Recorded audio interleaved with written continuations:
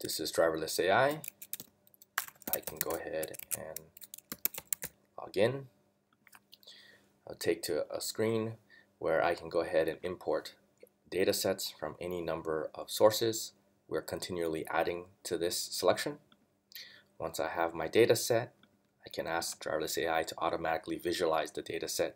It will automatically show me interesting plots on variables of interest automatically I can navigate through the various plots via carousel. In this particular plot, these are identifying outliers, which I can highlight, select, and see outliers. At any point, if I don't understand a visualization, I can get help. And I can download any plot as a file for later use. Other interesting plots include a correlation graph, which is interactive, showing correlations amongst variables,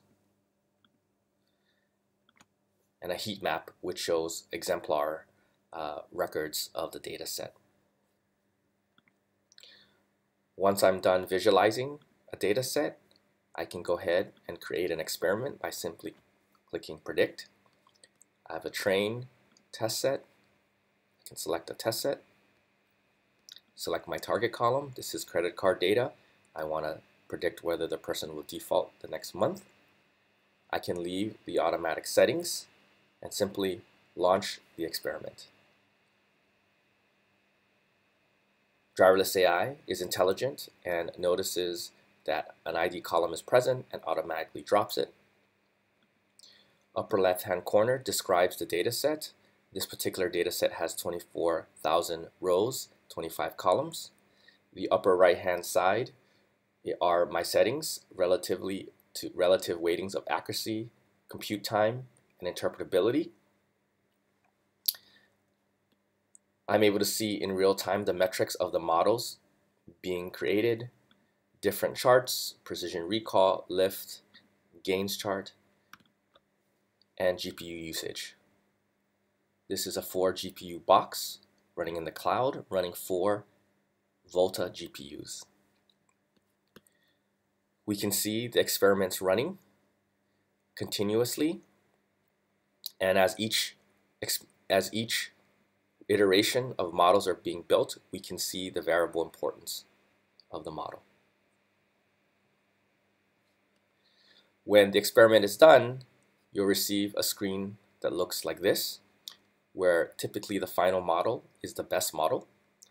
You have the option of scoring another data set, transforming a data set, downloading the predictions, both for training and testing, a scoring pipeline in Python, a scoring pipeline in Java, experiment summaries, and logs. We can go ahead and interpret this model. Right? When I interpret this model, I'll get a screen that looks like this. I can do it really on the original features or the transform features.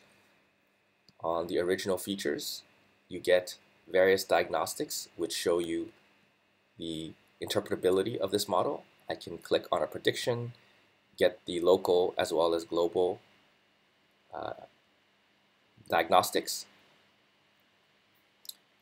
which includes variable importance, feature importance. I can get reason codes. Okay, so go back here.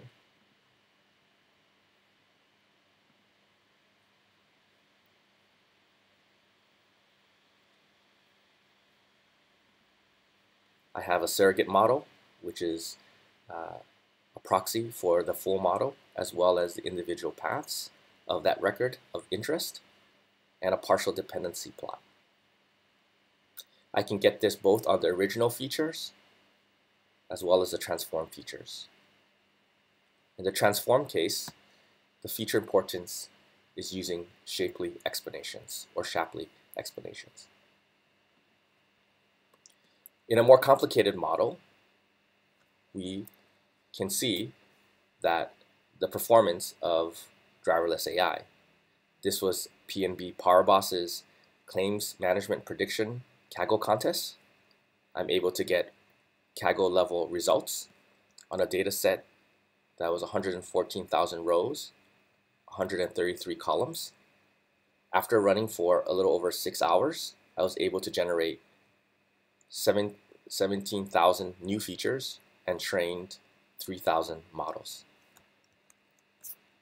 Had I entered this competition, I would have placed in the top 1%.